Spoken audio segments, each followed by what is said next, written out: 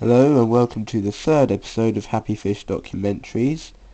Uh, this one's about neon tetras and glow light tetras. They're so similar I thought they'd just have the episode the same. There's a glow light tetra there.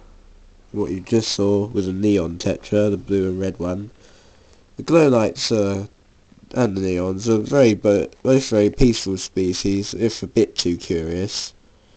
Uh, they'll team up with each other and to to compete with to, with other fish for food.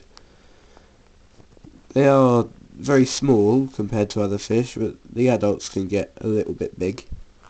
Not massive, but uh, well, not even sort of medium-sized, just big for a small fish, if you know what I mean.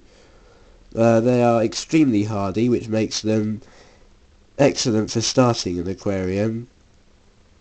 And they they usually sold for like six for 12 quid or something, so really not that expensive at all.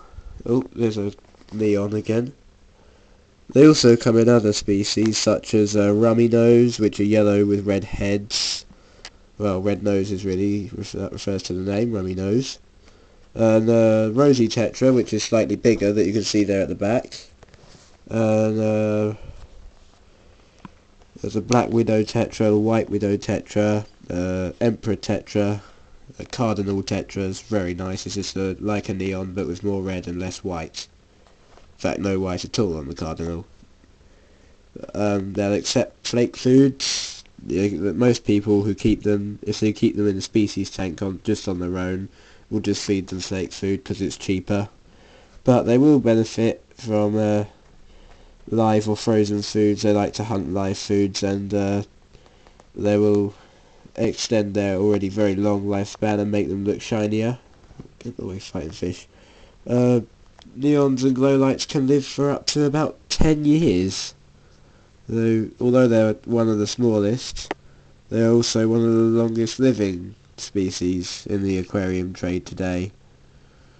Uh, so yeah, this fish really doesn't have any disadvantages at all, apart from the fact that it will be eaten by uh, a lot of things. Angelfish, discus fish, um, platinum angels, pacus, piranhas, ruby sharks. Pretty much anything will eat them. Well, if you keep them sort of nothing bigger than a dwarf gourami or a Siamese fighter, you should be alright unless it's really aggressive. They, I say just don't keep them with angelfish or discus fish or anything I've already said. Uh, they'll be fine living with peaceful species because they, uh, although they can be a bit curious for their own good, they don't they don't deliberately interrupt the life of any other species. You'll see there's a Corydoras, albino Corydoras, it's not even aware that the tetra's there.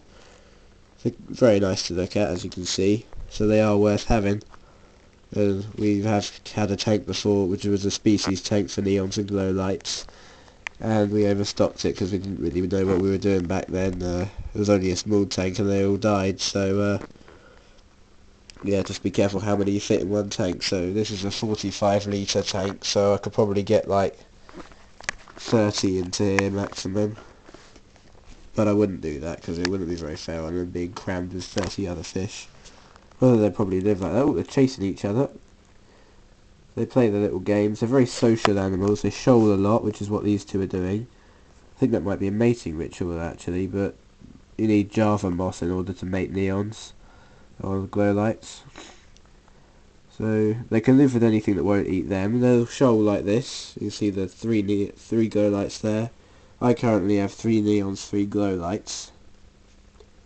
But uh, yeah, they're very probably the best to start, best tropical fish to start with if you're approaching from the goldfish direction. Obviously, if you're approaching from the marine direction, you can keep pretty much anything because you already know it. See, they even show into species, neons and glow lights, like that. So, uh, water parameters really don't matter with this fish. They've survived lots of uh, breakdowns of water in this tank, and uh, temperature fluctuations and so on, they're really not that bothered at all. Uh, like you get other fish like the Siamese fighter that's really finicky and not hardy at all, whereas these are the these are the kings of being hardy and tough. They're just just the best by a long way. The other hardy one, of course, is platies. Well, I have got some platies in here somewhere that are home raised. You see a little orange dot in, the background is a platy, baby platy, nearly fully grown. Anyway, back to neons. So, uh, that's a neon in the background there. I'll see if I can get a, another shot of the shoal before we go. Uh, yeah, that's just about it. Tune in next time.